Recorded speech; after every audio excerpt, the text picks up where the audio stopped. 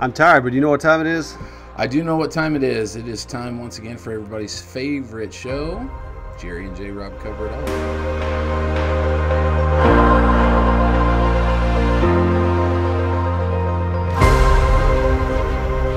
About to be brought to you in person. That's what I understand. Yeah, I hear some big things are coming. Big things are coming. I think we can go ahead and say it right now because by by the time I get this produced, it'll already be official. Well, so, th- get it out there then. well, yours truly, J. Rob, and our former uh, uh, guest of ours, Jason, are official owners of a coffee shop Nice. in Bertram, Texas. You ready for the name?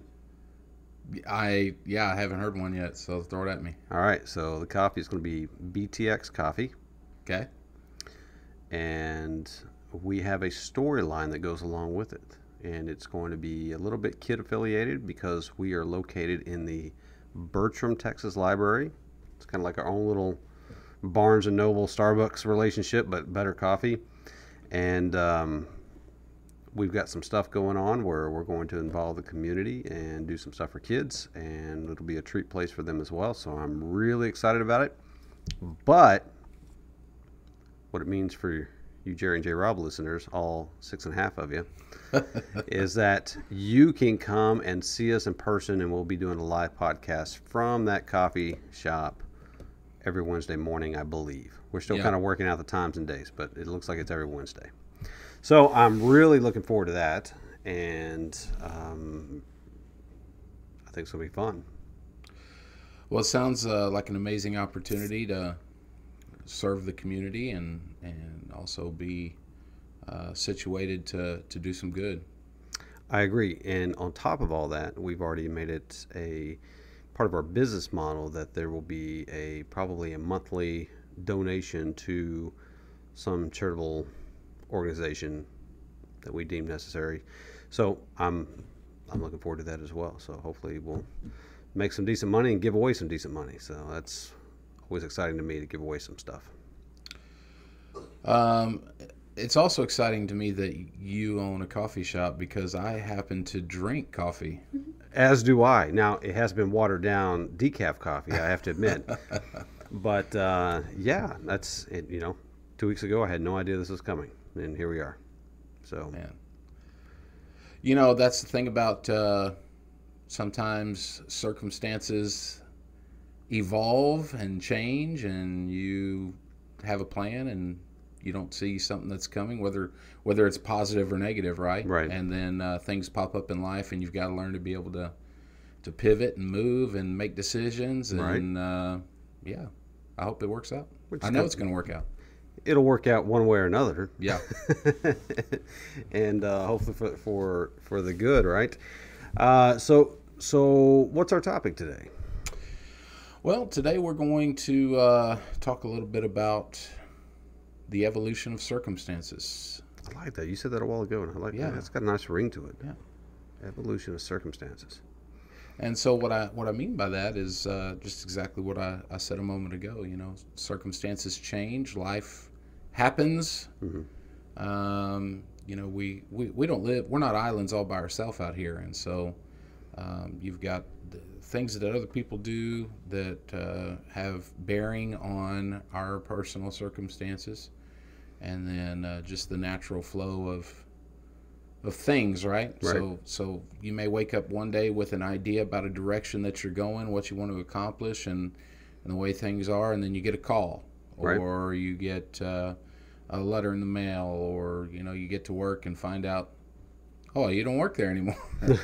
or, or you know, or, or sorry if and, that's and you. not just negative things, but, Right. but positive things as well. Right, You right. know, but uh, a lot of times it's been my experience that uh, th- there you have to have at least a, a, a certain level of expectation that those things are going to happen, and an idea about how you might be able to to to deal with them. Just just a base skill level of being able to um, take the things that come at you, um, make the decisions that need to be made, act on them, and then move forward so that uh, even if you do get blindsided, you're not just knocked out.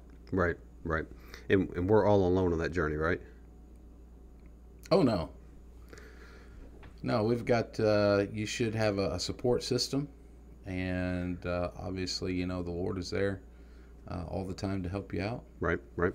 Well, yeah, I think you, you you've already hit it on the head. It's making that pivot. You said that a while ago. Making the pivot, no matter what the circumstance is, right? So, like I said, two weeks ago, I had no intentions of owning a coffee shop. Suddenly, an opportunity came up, and out of nowhere, it made itself available, and here we are today, right? But that happens with good things and bad things, just like you were saying. It's sometimes these things are brought to you because they're they're a blessing for you. Maybe maybe God has something in in mind for you and a desire for you to go a certain direction or to prevent you from going a certain direction. Mm. And then sometimes we have bad things that happen. And we've talked about it in the past. You know, what do you do when you when you have a bad circumstance? How do you deal with it? You know, um, I know for me that you know a, a, bad circumstance seems to be a good attention grabber spiritually for me. Right? Mm-hmm. How am I going to deal with, especially those situations where you don't know how it's going to end up. You don't know what the final result's going to be, and it makes you a little bit more dependent upon God and what what needs to be done to um, make that situation the best it can be. But the the circumstances of life that come up, once again, good or bad, how do you deal with that stuff when you when it's at a you know a moment's notice? You know, I know for me that's kind of how I live, and it's normal for me. But a lot of people they you know, my, my lovely wife back there, she's got to have everything planned out, and I don't plan anything out. I'm just I just roll with it. Yeah. So, uh, a lot of folks, how do they deal with that when something comes up that's good, something that comes up with bad? And I'll, I'll give you a couple of responses that I commonly see. On the bad side, I see the first thing is what can I do to fix this? Sometimes it's not within your capability to fix something. Sometimes right it's up to God. Sometimes it's up to somebody you know. Sometimes you got to go ask for help, or um, people will just shut down and kind of go into, into lockdown mode and just try to shield through the storm, right, mm-hmm. and hope for the best outcome. Um, let's say you have an opportunity comes up all of a sudden, good opportunity. Should be should do something with it. It's funny because I will find that a lot of people will vapor lock in the same manner because they won't want to take the risk or they won't have the resources or the planning to be able to handle something like that.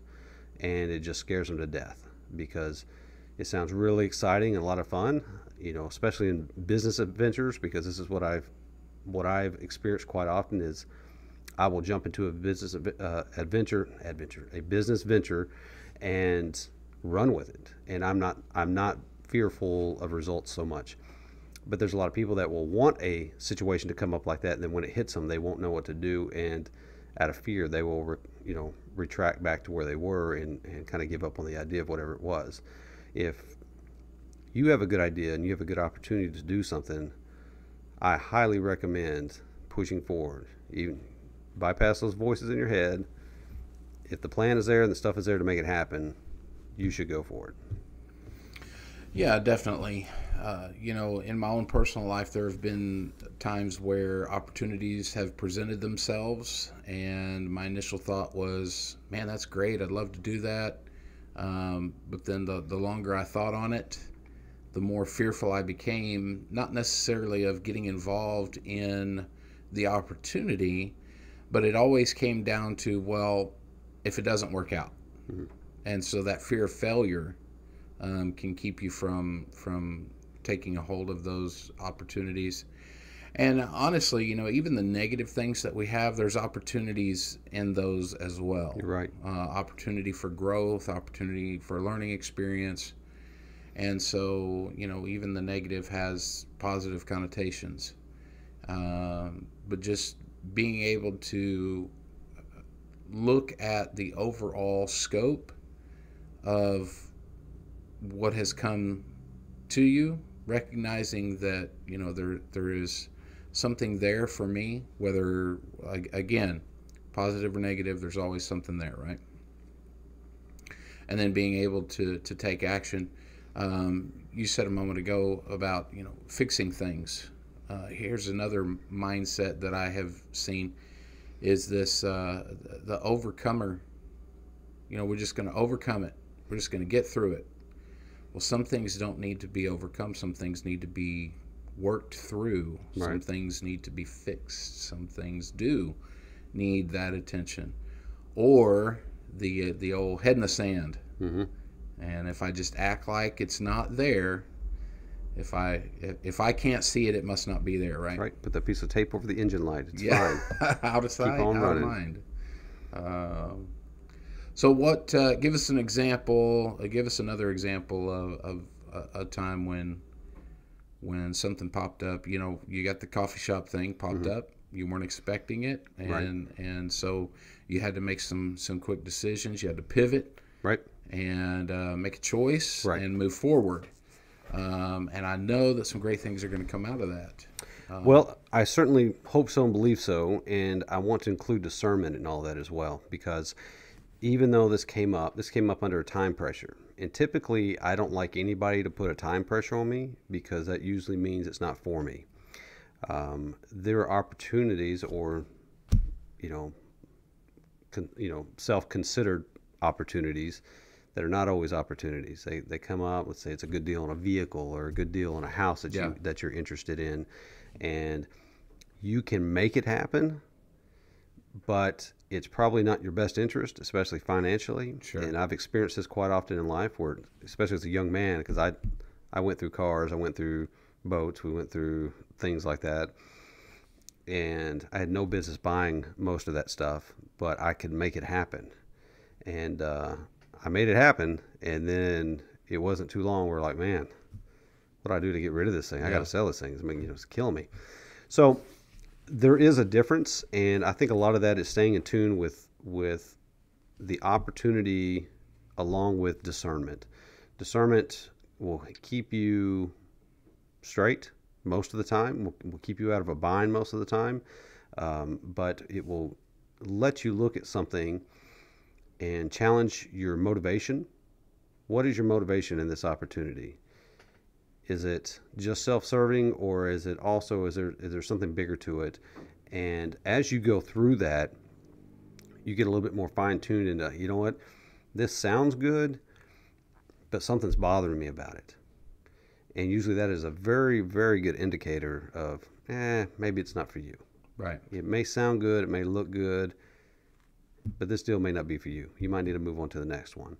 Um, you know, some things come up fast, some things do have deadlines that that appear, but if everything looks right and the numbers are right and you have the right support and the right things to happen to make that a success, if there's nothing else holding you back, and it's and it's a good opportunity, I, most of the time I'm going to say go for it. It's it's worth doing if everything else is in line but those those little indicators, the little things that sound weird. I had somebody um, approach me two weeks ago, three weeks ago, and they're affiliated with a uh, the movie industry, and they're people I know. You know, it's not um, it's not some sketchy person out in the middle of nowhere that I've never met, but it's somebody I know. Coming out of the darkness That's in a right. trench coat. That's right. That I've met. I've I've actually been around a little bit, and there was an opportunity where they were they're working out this multi-million dollar uh, TV series, movie series thing um, that's being funded out of a foreign country. Well, that's fine. But there was some circumstance, some clause where they needed some initial cash to open up a uh, account in the UK and get money moved over. Yeah, it's exactly what it sounded like. Now, at the end of the day, it sounded pretty decent. It sounded fairly legit. But but the amount of money they were asking me to put into it, I asked them if they had it, and they said yes. And I said, then why don't you do it? What's why why would you give me this great opportunity if you can turn around and make all this money doing it? And ultimately, the answer was we didn't. They didn't want to risk their money.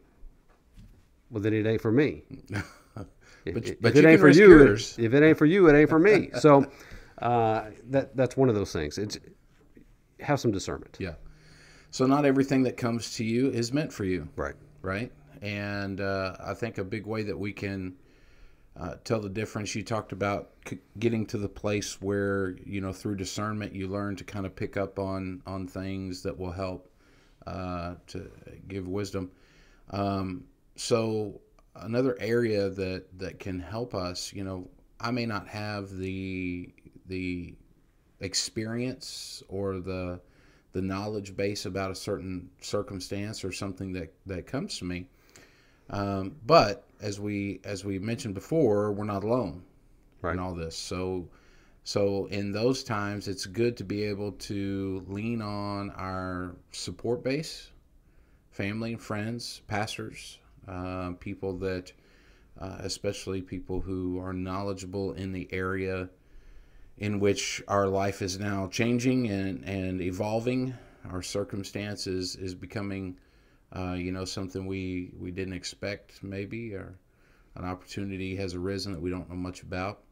Um, so we can we can lean on those those in our lives who may have knowledge that we don't have Right. and wisdom that we don't have. Some sometimes there are things that come only through experience, but it is wisdom to say, I don't have the experience, but someone else does. I'm going to ask them and see what they Right. think about it. Right. You may not get the answers you want to hear, but maybe it prevents you from going down a road you don't want to go down as well. So sure.